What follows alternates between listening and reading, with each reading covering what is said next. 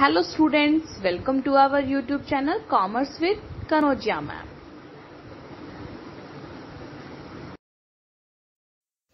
हाँ जी स्टूडेंट्स जो टॉपिक हम कवर करेंगे इस वीडियो में है वो है person disqualified from being appointed as a company secretary मतलब कि क्या कौन सा पर्सन डिस्क्वालिफाइड माना जाएगा कंपनी सेक्रेटरी के अपॉइंटमेंट के टाइम तो देखिए फ़र्स्ट है no firm or association may be appointed as secretary, only an individual can be the secretary of the company.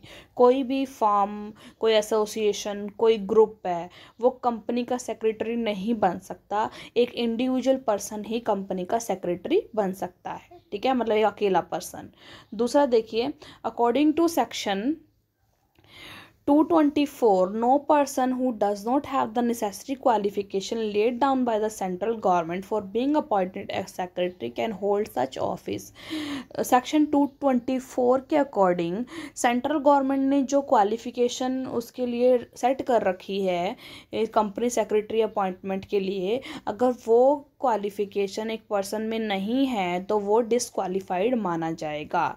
जो क्वालिफिकेशन है, वो हमने अपनी इसी चैप्टर की जो थर्ड वीडियो है, उसमें हमने कवर किया हुआ है सेकंड वीडियो में। ठीक है students see where a company has only two directors neither of them can be appointed secretary of the company देखिए अगर कंपनी में दो डायरेक्टर हैं तो दोनों में से कोई भी कंपनी सेक्रेटरी नहीं बन सकता ठीक है?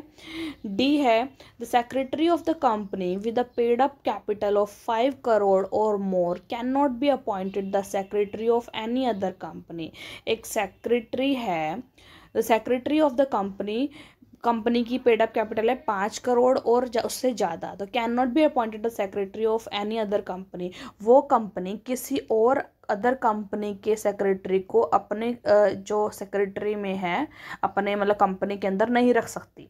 ठीक है? कैसे? क्योंकि देखिए कंपनी सेक्रेटरी को हम अपॉइंट कर लेते हैं थोड़े टाइम के लिए, क्योंकि हमने बात कर ली कि पिछली वीडियो में कि पाँच करोड़ या पाँच करोड़ से ज़्यादा पेड अप शेयर कैपिटल होती है जिस कंपनी की, उसको होल टाइम कंपनी सेक्रेटरी रखना पड़ता है। इसलिए वो किसी और कंपनी के कंपनी सेक्रेटरी को अपनी कंपनी सेक्रेटरी में नहीं रख सकती। ठीक है? According to section 141, no auditor of the company can hold the office of the company secretary. कोई भी ऑडिटर है जो कंपनी का वो office of the company secretary को होल्ड नहीं कर सकता। मतलब कंपनी सेक्रेटरी का ऑफ़िस कंपनी सेक्रेटरी ही वो कर सकता है कोई ऑडिटर नहीं कर सकता। ठीक है?